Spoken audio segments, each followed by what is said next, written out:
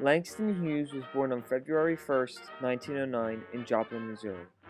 Hughes always loved writing, anything from poems to plays. He lived a very successful life, being known for his amazing writing skills.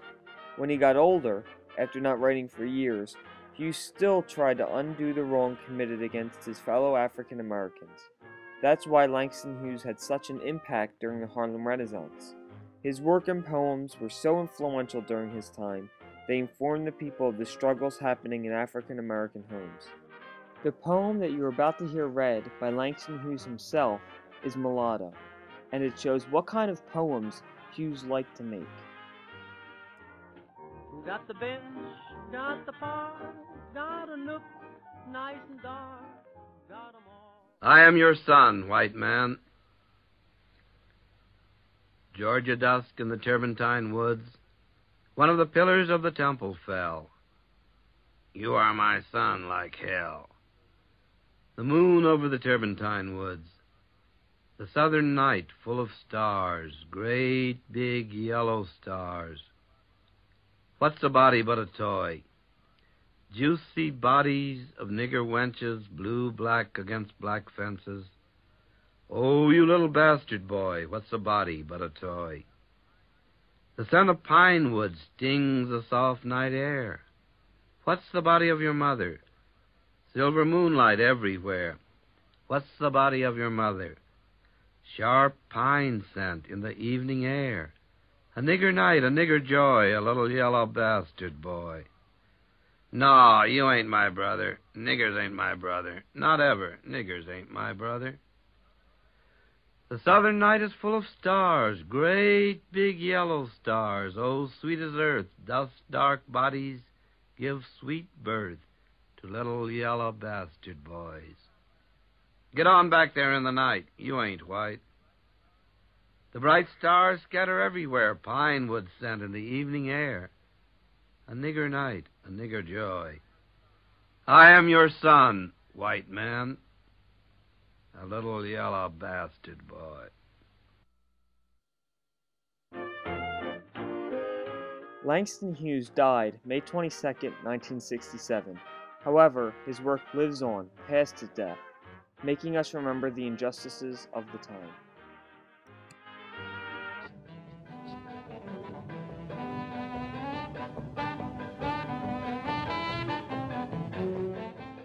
Noble Sissle was born on July 10, 1889.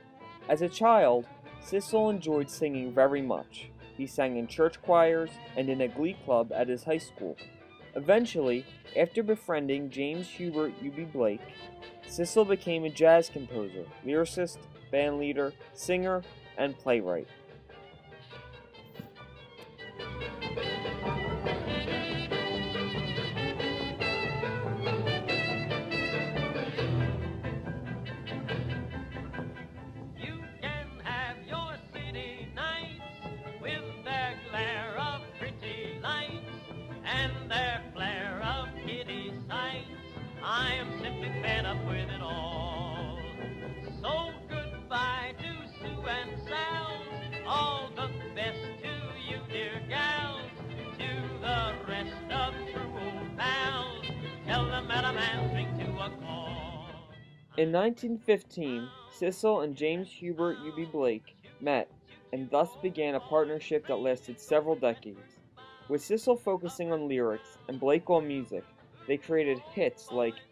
It's All Your Fault, introduced by Sophie Tucker.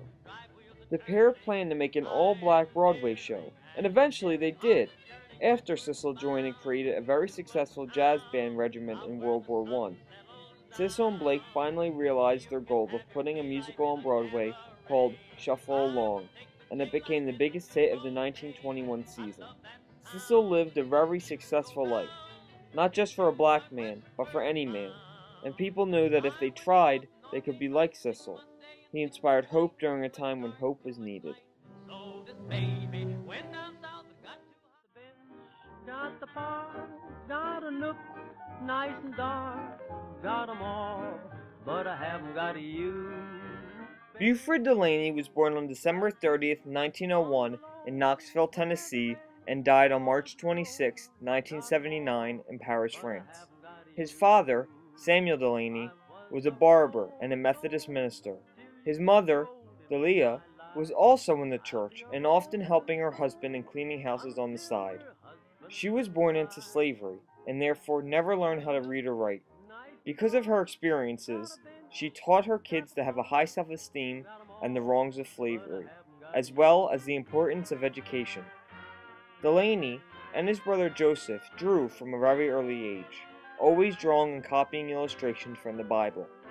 Joseph was quoted saying, Beauford could always strum on a ukulele and sing like mad, and could mimic with the best. Beauford and I were complete opposites, me an introvert, and Beauford the extrovert.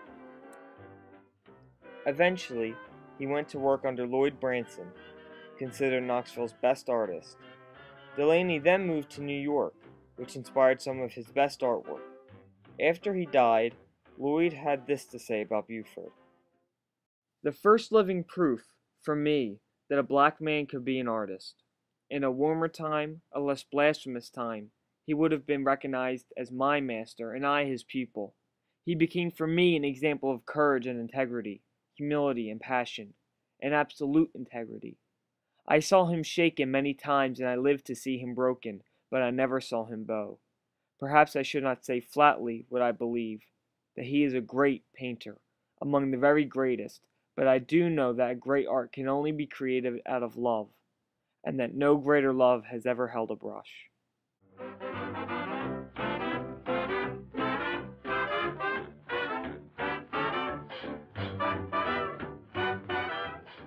Bill Robinson, later nicknamed Bojangles, was born May 25, 1878, in Richmond, Virginia, and died November 25, 1949, in New York City. As a child, Robinson wanted to be a jockey for horses, but as he grew up, he slowly began dancing more and more, and at the age of 11, he decided being a jockey was too impractical for him and decided to pursue the career of being a dancer. He became popular in the black vaudeville circuit and slowly began to perform in bigger and bigger shows. As Robinson was growing in skill, he became annoyed that the white dancers with half the talent were getting double the recognition. In 1921, while in a show in New York, Robinson danced up and down the stairs, creating his famous stair dance. Even though he was not the first one to dance on the stairs, it was so good it was as if Robinson trademarked it. Even though Robinson was reaching his 60s, he was still able to keep his career in high swing. He appeared in nightclubs and musicals. In fact, it is said he was so active he could play in different shows in different theaters on the same night. At the end of his career, Bojangles should have been worth over $2 million, but he was flat broke, mostly because the older he got, the more generous he became, and he stayed that way until he died in 1949. During his busy career, he was able to attend benefits for artists who were not as lucky as he. In fact, one year he attended a staggering 400 benefits. This, and him being a kind man, over 30,000 people showed up to his funeral. He was seen as an inspiration and beloved by many.